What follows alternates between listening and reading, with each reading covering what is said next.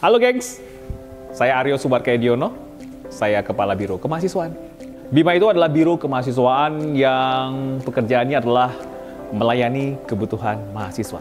Simpelnya di situ. BIMA ada satu kabiro saya, gitu ya. Terus ada dua kabak, satu kabak untuk layanan kemahasiswaan, yang kedua adalah kabak urusan eh, alumni dan magang, gitu ya.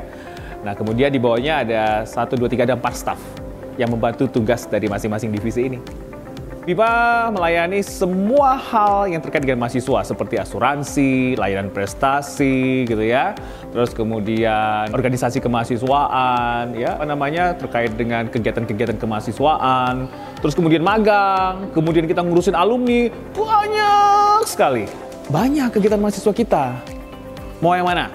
Mau soal hobi? Ada. Kita punya UKMA. Di situ ada UKMA basket, ada UKMA taekwondo, ada UKMA dan segala macam UKMA yang lain. Ada paduan suara, ada debat society, macam-macam. Itu UKMA. Tapi juga yang terkait dengan eh, apa namanya organisasi di prodi ada juga namanya himpunan mahasiswa. Banyak sekali. Kalau mau tahu harus ikut, oke? Itu tadi karena banyak sekali yang kita lakukan, ya program kerja kita terkait dengan itu, ngurusin asuransi, ngurusin tentang magang, ngurusin tentang exit letter, ngurusin tentang alumni, ngurusin tentang pendanaan kompetisi, mengurusin tentang kemahasiswaan, organisasi kemahasiswaan dan eh, kegiatan-kegiatan mahasiswa. Cara menghubungi Bima itu simple. Kita ada di gedung kampus Pasar Festival. Nanti tinggal masuk jalan-jalan-jalan, ketemu lobi depan, depan dan pintu belakang ya. Nah, kemudian bisa juga melihat website kita di bima.bakri.ac.id.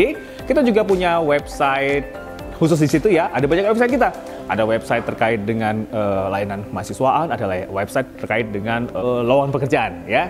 Terus kemudian kita juga punya media sosial bima.ubakri ya. Bisa ke mana saja ya bisa datang ke staff langsung, bisa menghubungi saya langsung, bisa menghubungi security langsung nanti diarahkan ke saya.